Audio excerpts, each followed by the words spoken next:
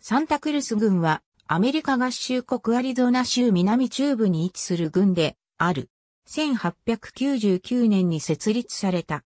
2010年国勢調査での人口は47,420人であり、2000年国勢調査からは約9000人増加した。郡庁所在地はノガレスである。郡内には多くの武道園がある。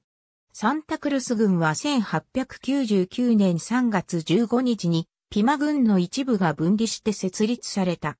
郡名は17世紀後半に木の神父が名付けたサンタクルス川にちなんで採用された。サンタクルスとはスペイン語で聖なる十字架を意味している。木の神父が有名な伝道所をこの地に建設し、それが玉囲国立歴史公園に今でも残っている。マスタング山脈アメリカ合衆国国勢調査局によれば、軍域全面積は1238.11平方マイルであり、このうち陸地は1237.63平方マイル、水域は0.47平方マイルで、水域率は0.04%である。